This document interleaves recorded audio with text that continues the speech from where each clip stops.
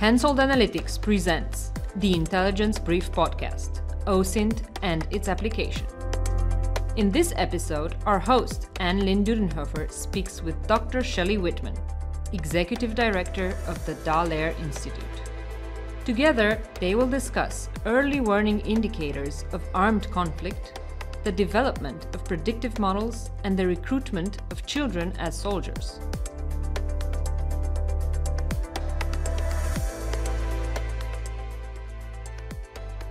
Welcome to the Intelligence Brief podcast, OSINT and its application. My name is Lynn Dudenhöfer and I'm the OSINT analyst at Hensoldt Analytics.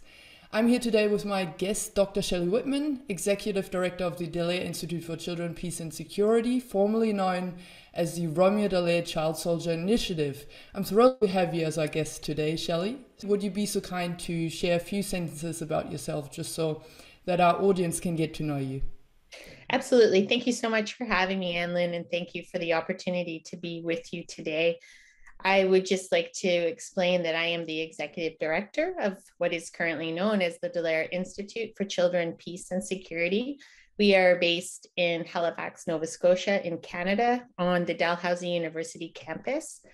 And in terms of my work, I've been doing this role as the executive director for about the last 12 years so it's been a huge part of who I am and the building of it from what was originally the Romeo Dallaire Child Soldiers Initiative to the Dallaire Institute has been something that has been an incredibly uh, proud moment for me. And uh, certainly my experience in working in Africa as well as in conflict mediation and at the United Nations through the uh, United Nations Children's Fund was my first professional job after coming out of my studies it's been a wonderful opportunity to tie all of those elements together and to really understand how we can think about children, peace, and security in a much different way. Yeah, absolutely. And I'm, as I said, I'm thrilled to have you. Thanks for joining today. So, just to give our audience a bit of an idea what we will be discussing here today, I will provide some background info. And please correct me if I'm wrong at any stage. Um, over uh, 400 20 million children live in areas of um, uh, that are affected by armed conflict, uh, which is apparently a 50% increase since the 1990s. So until recently, the efforts to tackle this child sol- soldier recruitment have been largely reactive. And to break this cycle of violence and exploitation, it is required to address this issue preventatively.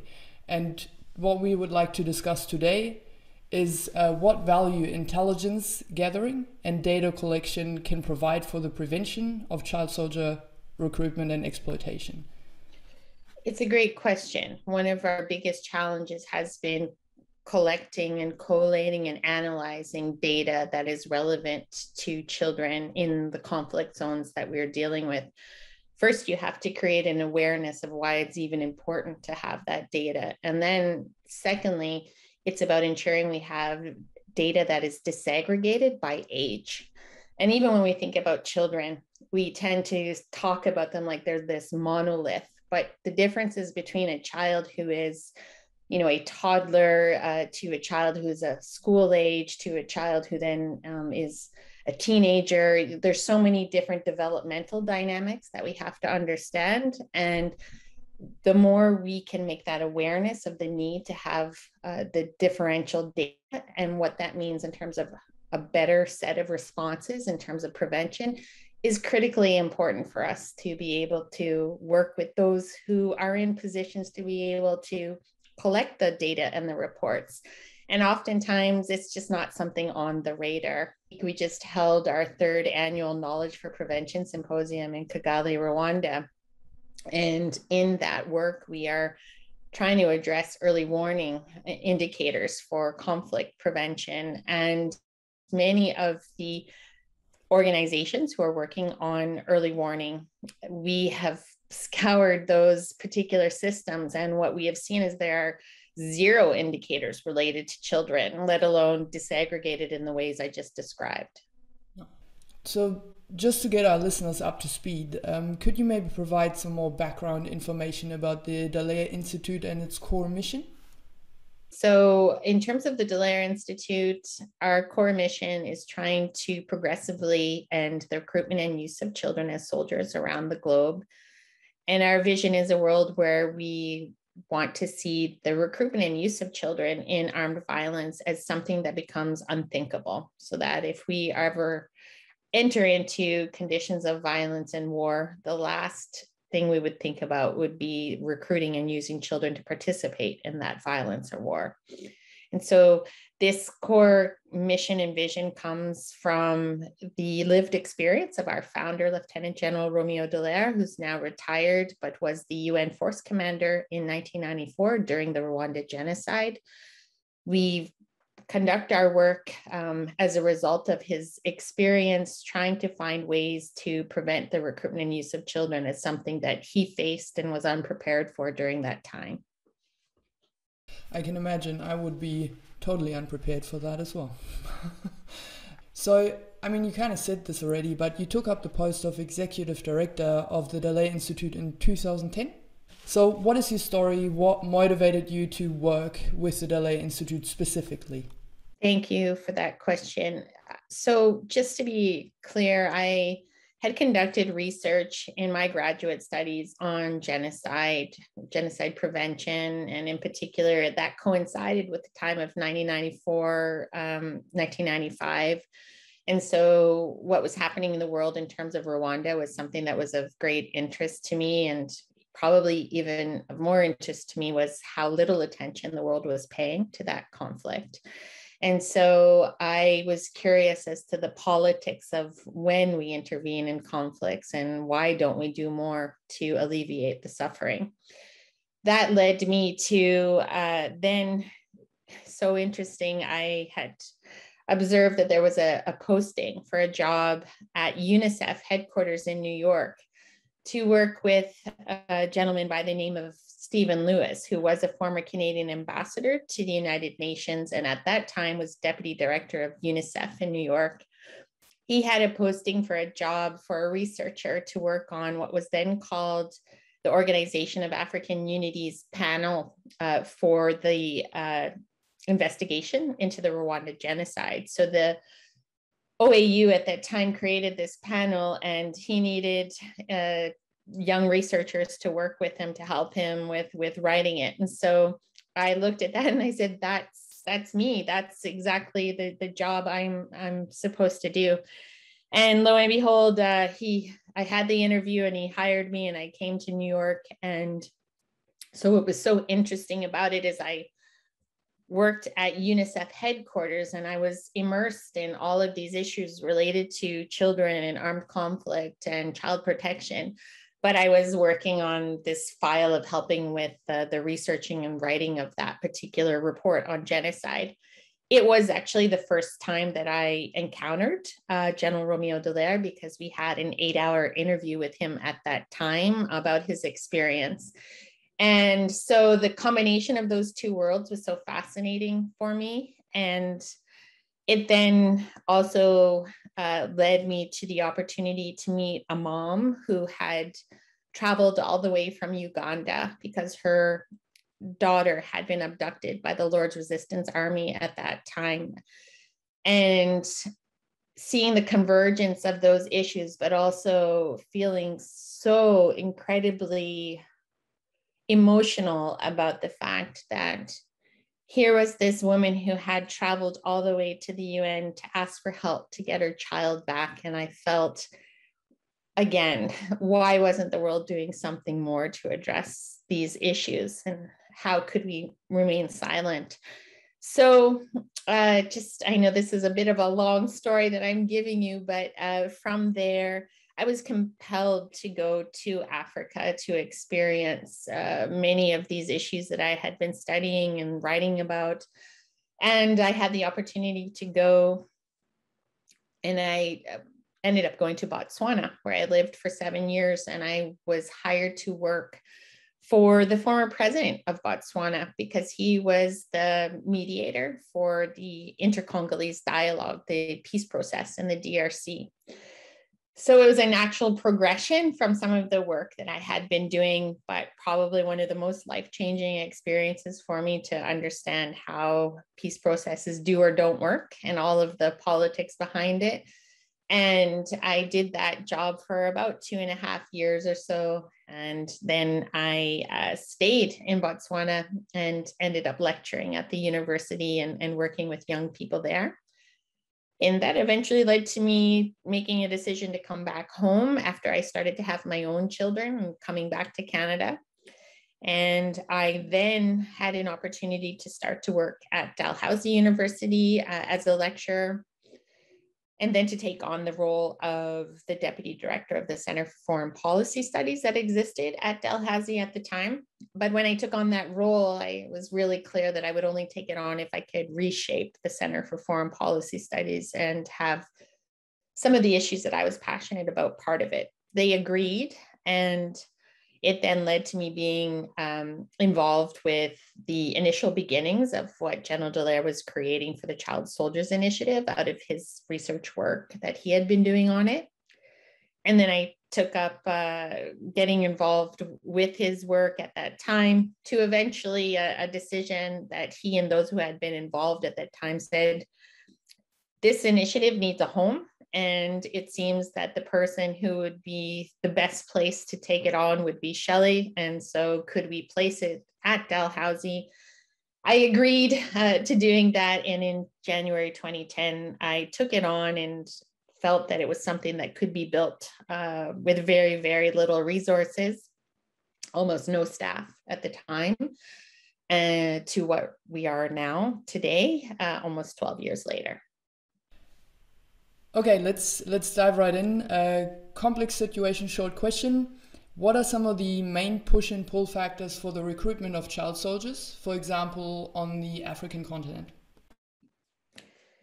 So this is a bit of a complex question, of course, because the push and pull factors have been varying uh, depending on context and time and place but there are some common factors that we can look at. And so on the one hand uh, you have you know some of the factors that are related to whether or not you have uh, large populations of children who are in an area where it's impacted by conflict. And those factors such as high levels of poverty uh, lack of employment uh, education opportunities that are limited whether or not there's general insecurity that prevents children from being able to venture to school uh, or back, etc. And so those are some factors that we we understand um, that are very important. But I think that even more importantly, what we are understanding more and more is that while those factors are important, probably some of the factors that are even more important are related to things such as whether or not a young person feels a sense of purpose and do they understand their sense of, of purpose and do they have a family that supports them in finding that?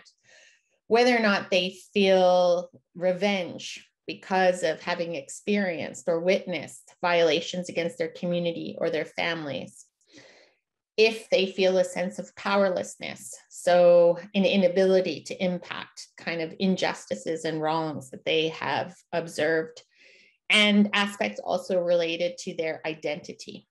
So uh, these elements of who are they and um, what are their belief systems and uh, whether or not the communities in which they are in help them with understanding all of these elements tend to be much more common globally than we we tend to understand. And so while you asked me the question about Africa and those perspectives, those last four points that I raised are things that are relevant right here in Canada when we think about youth involved in criminal networks and gangs or extremist groups in places like Europe as well. Yeah, fair enough. I think the last one in particular is a good point that it's kind of universal anyway um, in youth all over the place. Um, but talking about prevention now, um, in one of your publications, I think, on preventing child soldier recruitment, you mention that to progressively end the recruitment and use of children as soldiers, practitioners must focus on effective prevention. And I think you also state that a transformational shift is needed uh, to move from merely good intentions to preventive action or preventative action. So, what is your definition of effective prevention in this context as opposed to ineffective prevention? Yeah, great question. So, I think that one of the challenges that I'm always posing to those who are working in this field, whether it's non governmental organizations or the United Nations or governments that we collaborate with, is we use the word prevention, but we really, uh, in action, are focusing on you know remedies after the fact. So if we're serious about prevention what we need to understand is that when we think about protection of children and we think about access to some of the most basic services that children need from healthcare to education to social services to uh, effective security oftentimes those particular areas that most impact children are also the areas where we put the least resources into. So many parts of the world, education um, is the thing that is suffers the most from uh, cuts. I know here too in our country, when we talk with teachers and educators, they will continuously complain about how every year there's something else that gets cut. Why do we do that if we're quite serious about wanting to protect children? And the you know extreme importance of that is something for us to to really think about and yet it doesn't seem as if spending on things like military um, expenditures is is reduced in the same way so there's a reallocation of the way that we think and the way that we prioritize. And that you know goes throughout um, all of the areas of, of the ways in which we prioritize what we do in in our day-to-day lives in government. Um, certainly i i think that if you use the covid-19 pandemic as an example too the measures that we put in place uh, we did not think very clearly about the impacts that that would have on children. And i know you know 20 years from now we're going to look back at this period and have all kinds of studies that are going to talk about the impacts on the covid-19 kids and and what um, occurred as a result. So again it's about putting children at the heart of all of the decisions that we are making thinking through the long term kind of implications of it and whether or not the approaches that we are taking have a child sensitive uh, approach to it and dynamic and that's you know a pretty broad answer but i'm i'm trying to get the audience to understand it. it's a transformational shift in the way we think about the order and priority of the world I don't mind a broad answer because uh, there, there are more questions to come anyway.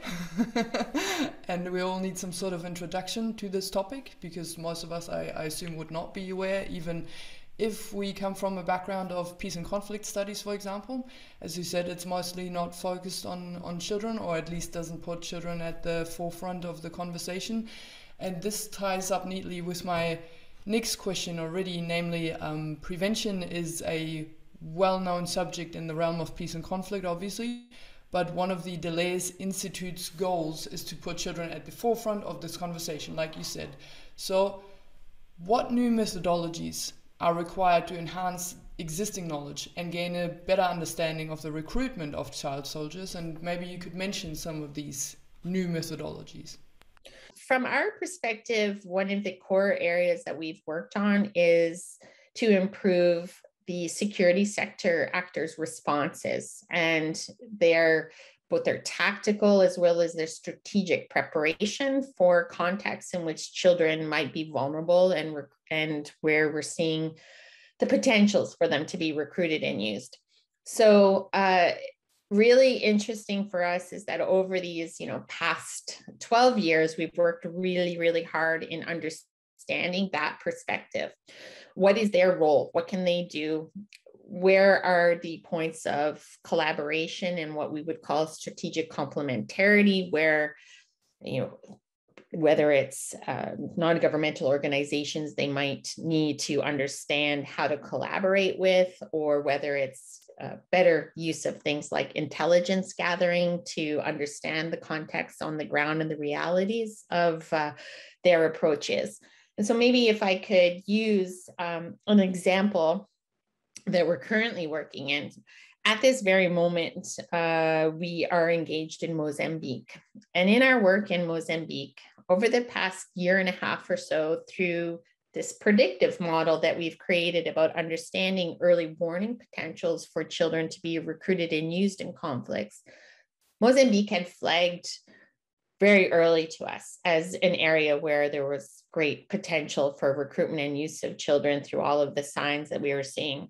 And so we used that information to also flag it at the level of the United Nations with the Secretary uh, General's uh, office and thinking through the children in armed conflict agenda. But we also flagged it to SADC, the Southern African Development Community, and their organ on politics and defense. It led to a communique being issued by them to understand that this was something that was serious for them to, to recognize in terms of their response to the insurgency that was happening in Cabo Delgado in the northern region of Mozambique. And then it also led to UNICEF in Mozambique connecting with us and saying to us, we need your help with working with the Mozambican armed forces. They need training, they need sensitization, they need understanding. So we are now doing that. Uh, we've got, reached an agreement with UNICEF and we've started training over the last uh, two weeks with the Mozambican Armed Forces to prepare them for their interactions with children. And why this is so important is because if they should go into a situation like Cabo Delgado and not have this information, it could result in them a missing key opportunities for better community engagement it can also uh, result in them reacting in a very heavy handed way when they come across children who might be uh, recruited and used by those groups. And when that occurs, all it does is feeds into the insurgent group approach to try to decrease you know the confidence in the security forces and when that occurs that leads to more recruitment and use um, capabilities and so right now, that is part of what we are really focusing on. And we believe that every time uh, armed forces go into context, whether they're in peacekeeping settings or whether their own uh, approach in their own countries to protect uh, their populations or their border areas, if they're not prepared for those interactions, what they do is they leave the door wide open for those who want to recruit and use children and to exploit that vulnerability.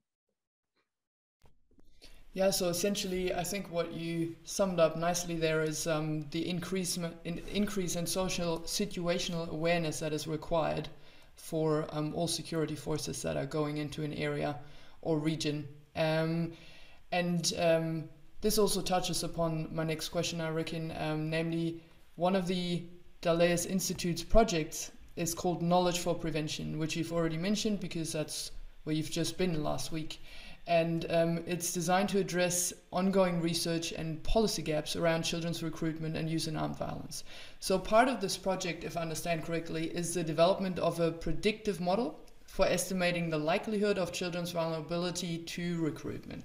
Could you provide more details about the data sets this model is based on?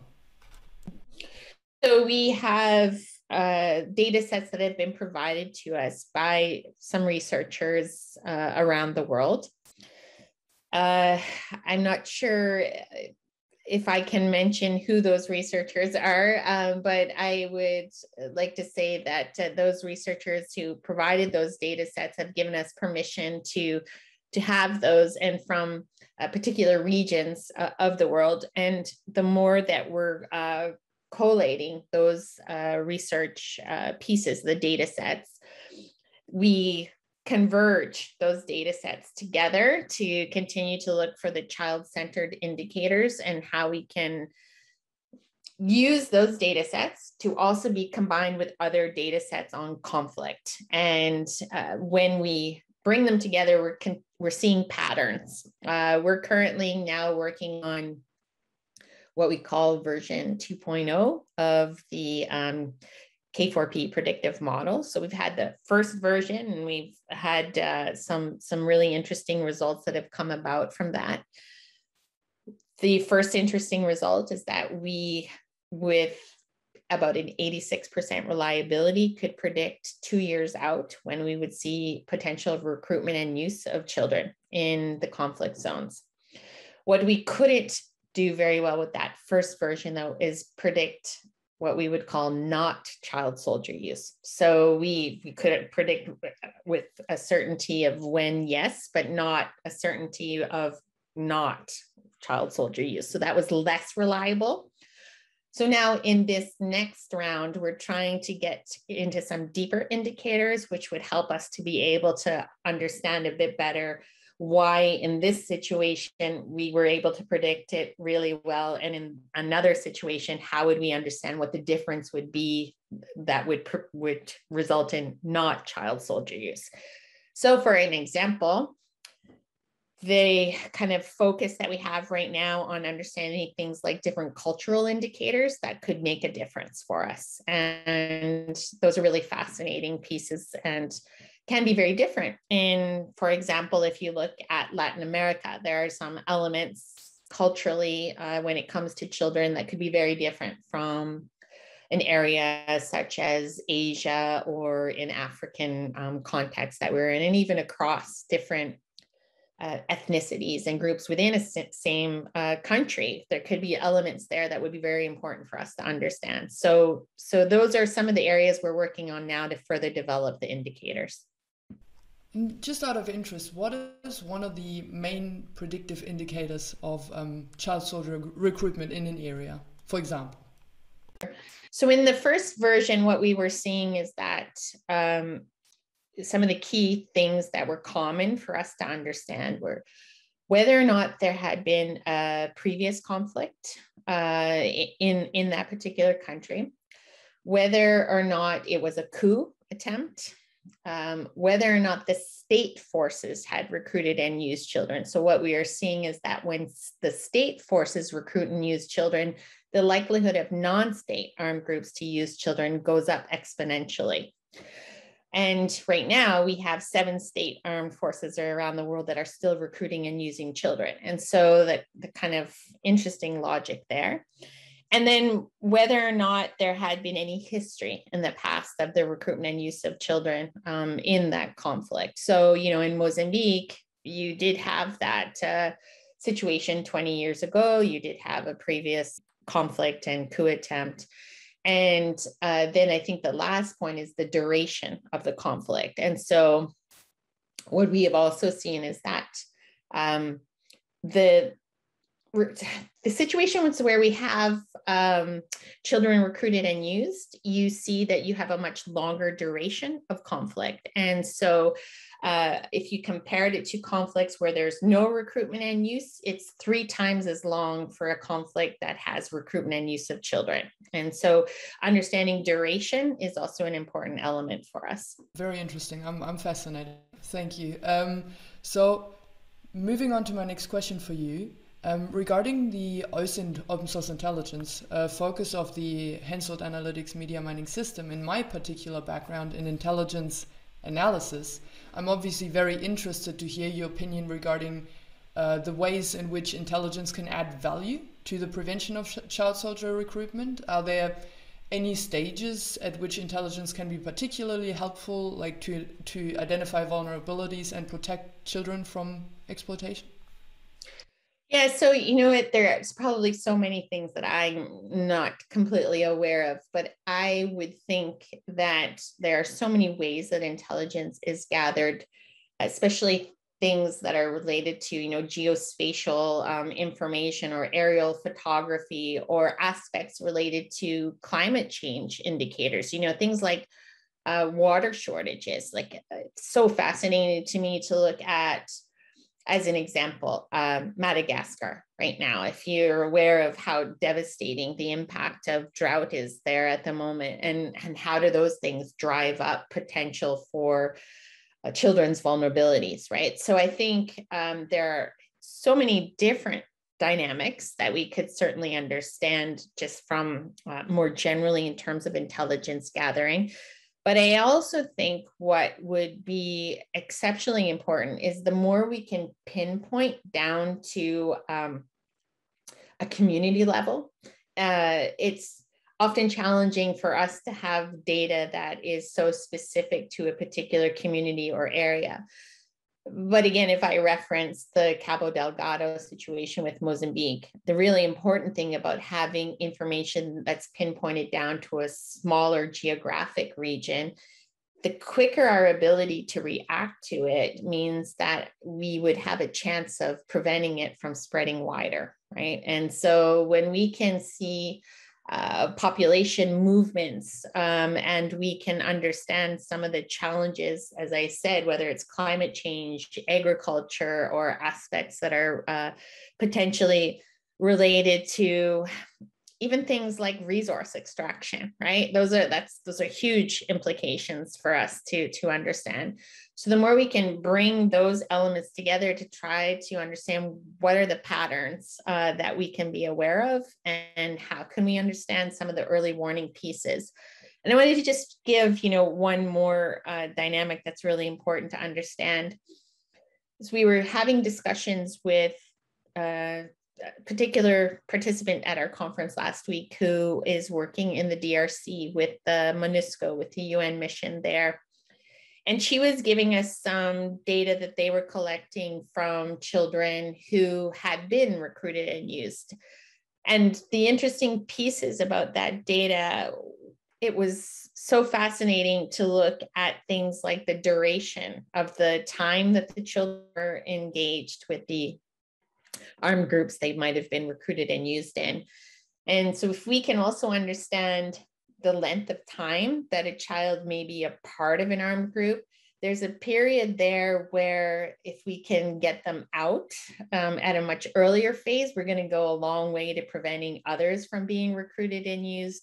And we're going to prevent uh, them from you know really becoming so indoctrinated that it becomes a challenge to to reverse those those dynamics so globally there's things we can understand and then more at a local level there would be very interesting sets of dynamics we could try to to read into as well as finding ways to collate the data a little bit differently um, from from the the children themselves and how that could be used to impact the things we might look at and the patterns we, we might need to understand I ran an open source intelligence analysis of the attack on on Palma um, earlier this year in, in March. Um, uh, well, it stretched from March to April, really.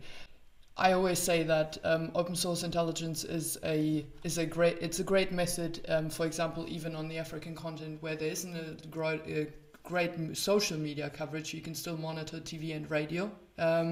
But then if you combine that with, for example, imagery intelligence, geospatial intelligence, as you said, and then also human intelligence. Um, for example, um, researchers, locals, um, NGOs on the ground, then you really get a whole impression of what is going on. So um, I always uh, think that the combination of these methods is really, really um, what is valuable.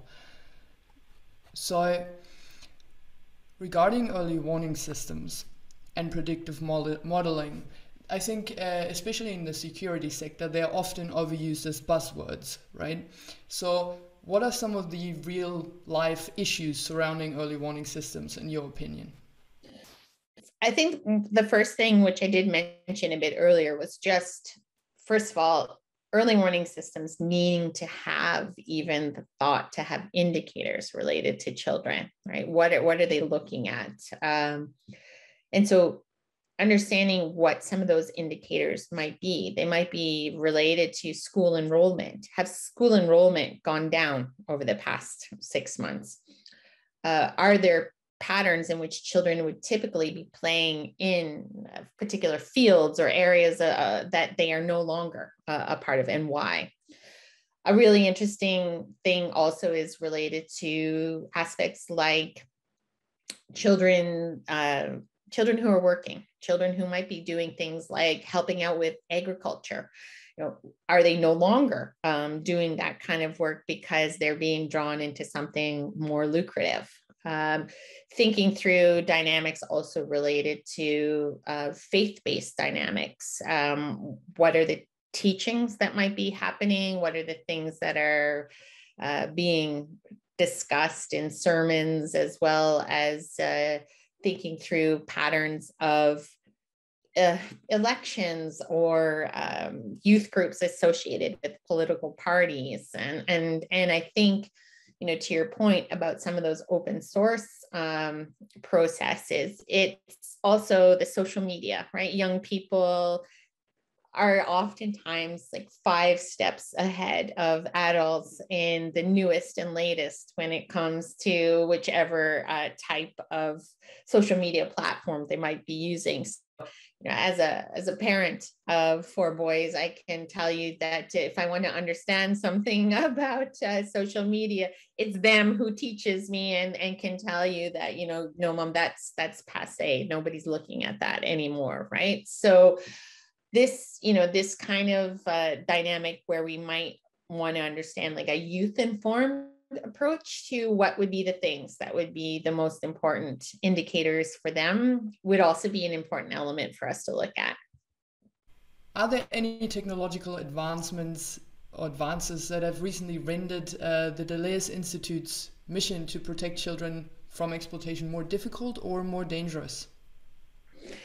It, it's a good question. And I don't have a particularly good answer to it because we have only just gotten into the mode of the predictive model being created. And now what we're trying to focus on is how do we take that predictive model and create what we would call a series of potential responses.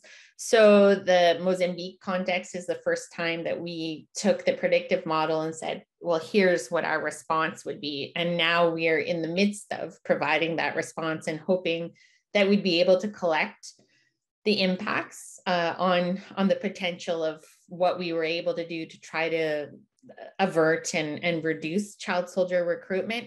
So um, there are other contexts in which we get what we call a worry list every month on potentials.